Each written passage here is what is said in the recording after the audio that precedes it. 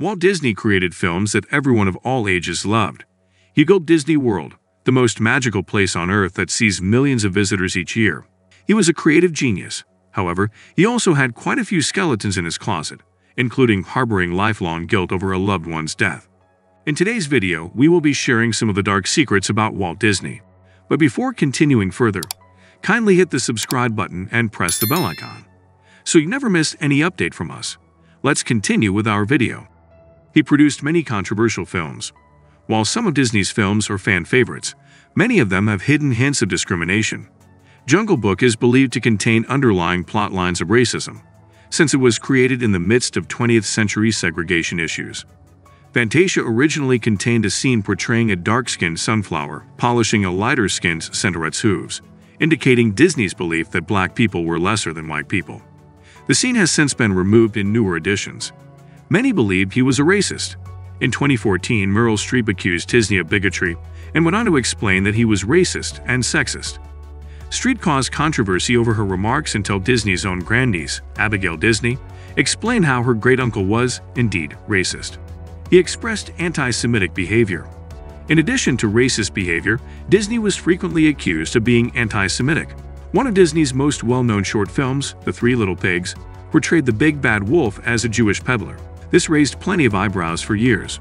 Plus, Disney openly associated himself with the anti-Semitic Motion Picture Alliance. Plus, he invited Leni Riefenstahl, a Nazi supporter, to his studios in the wake of Kristallnacht. He served as an FBI informant for more than 25 years. There had been much speculation about whether or not Disney was associated with the FBI up until his death in 1966. More than 20 years ago, Marc Eliot began working on a biography of Disney, he was able to obtain documents that finally verified Disney's compliance with the FBI as an informant. However, for national security reasons, many of the documents were blacked out. So although it is not confirmed what Hollywood names Disney passed on to the FBI, it is clear that he was secretly working for them. Disney frequently battled wage discrepancies. Wage issues were all too familiar to Disney.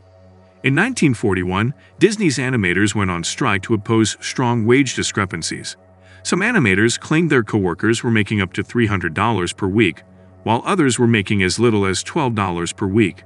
Disney defended the pay gap, saying those who contributed greater content to the company received higher pay. However, it caused a divide among the animators and disturbed the company's unity. He promoted World War II through cartoon propaganda, but he was actually anti-war. During World War II, Disney agreed to promote the war through his cartoons, although he actually was a pacifist and believed that since we are all humans, we should not fight one another. While he did create cartoons about the war, they were often skewed with negativity about what the military life was actually like. In one cartoon, Donald Duck was portrayed entering the draft. He believed that the military life would be one filled with success and respect. He quickly realized that the propaganda was a lie, and the military life is a hard one. Many people took the cartoon to be an anti-war expression. His mother died in the house he bought her, for years, many people wondered why Disney characters did not have moms. In a 2014 interview, Don Hahn, a producer who worked at the studio for decades, revealed that it was Disney's guilt that prevented him from including mothers in his animated films. Disney purchased a large home for his parents after making a lot of money, but the gas boiler was faulty.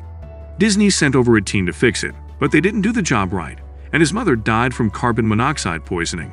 He forever blamed the death on himself, Mysterious Death of Debbie Stone 18-year-old Debbie Stone was a hostess on the ride. America Sings at Disneyland, California, and her job was to bid farewell to the leaving audience. But only nine days later, Debbie's body was found mysteriously crushed between a rotating wall and a stationary one. Some members of the audience admitted to hearing screams from backstage but ignored them, thinking all of this to be a part of the performance. Disney was responsible for Lemmings committing mass suicides, Disney was responsible for feeding the notion in the minds of people that lemmings often commit mass suicide when their population grows out of control. While shooting for a movie called White Wilderness, 1958, Disney cleverly used edits and angles to deceive the viewer into thinking that what they were seeing was a natural lemmings migration. The closing shot of the film shows a lake filled with dead bodies of the lemmings, but in reality, the lemmings did not jump on their own. They were pushed by the Disney film crew. We hope that you have enjoyed our video.